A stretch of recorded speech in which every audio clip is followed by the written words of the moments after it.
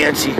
We're in mobile mode. We've been chasing the UFO for, I don't know, since Medford and whatnot. We pulled over here at this gas station. It's called the Space Age. It's got a green light. And see that little light right up above all that whiteness?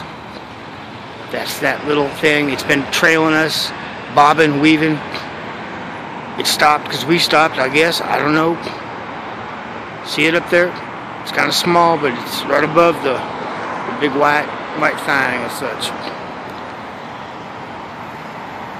Oh, it, it just bobbed and weaved, bobbed and weaved.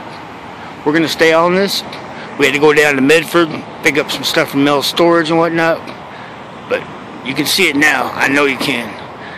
And I just think it's rather ironic we ended up all up in a space age gas station with a green light all up in the right there and this is live right now here in Portland. It's about, I don't know, 6 o'clock, something like that, 5.30, 5.45. And you can't see it now, but there's a chemtrail up above, and that's a tell. And you can barely see it. I'm going to dock it down. See that? We're tracking. We're tracking hard. I'll be back. Now, we're going to we're to see if it follows us and such. We'll pull over again all up like in the Sellwood arenas. Alright then. Yancy Moby. We be out. GPS 42, 79, 4010, 1112 paranormal. Hello friends, this is Yancy. We're still on a mobile mission coming back from Medford.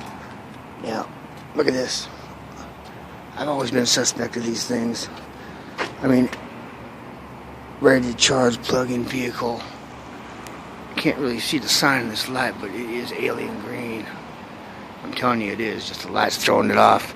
Trying to fool you to get up close to it. I mean, Charge Pro. It's all Illuminato. It's all green on this side. Charge Pro with the little alien symbols.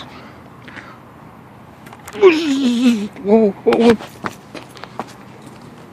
Yes, I'm going down that.